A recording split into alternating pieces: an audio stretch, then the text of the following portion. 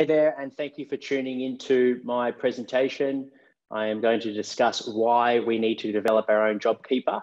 This is something that I've been particularly passionate about the last couple of years as my role was made redundant due to the COVID cuts. And I want to help share my experiences, my learnings with you so you can be better prepared for uh, maybe being in a particular, particular similar situation to uh, myself two years ago. So we're going to dive straight into it.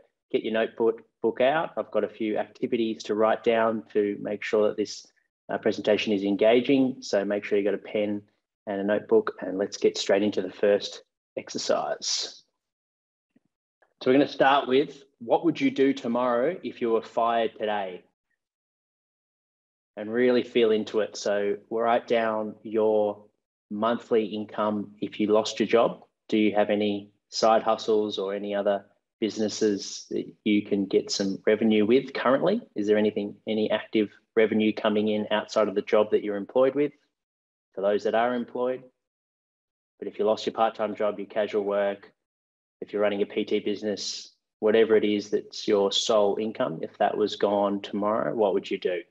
I'm going to discuss the importance of brand purpose, why it's so important to own your niche and be really specific with what your niche want and to grow a community, the power of automation. So Prepare Like a Pro is a semi-automated business, and I'll talk about what automation looks like and how we do that and why scalability is key in today's world of business.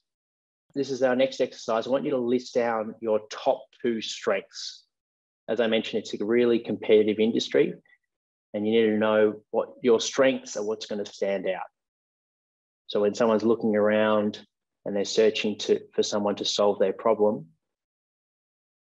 why would they appoint you opposed to someone else? So for me, my top two strengths were my people skills being a personal trainer and a swim teacher, I learned working with people at a very young age throughout my whole professional career. So I feel like that's a strength of mine. The iceberg theory of success uh, pretty much applies to, to anything, but uh, it's a good visual for me when I'm thinking about marketing because you can easily get distracted and lost in the world of marketing. And I'm sure I'm not alone in saying, uh, yeah, in being in two years ago, I was in a position where I'd barely knew what Instagram was. I certainly didn't have an account. And uh, I like to stay in the shadows as most strength conditioning coaches do and wasn't comfortable being in front of a camera uh, and like to just sort of stick stick to myself and focus on my work. Uh, and that served me in terms of working elite sport for sure, but in terms of um, getting leads and having a successful business in, the online world that's semi-automated, uh, it's something that I had to change. Uh, and like I mentioned, the flyers and the other form of connection was very limited because it was just my reach was simply the area that I was living in, which was the surf coast.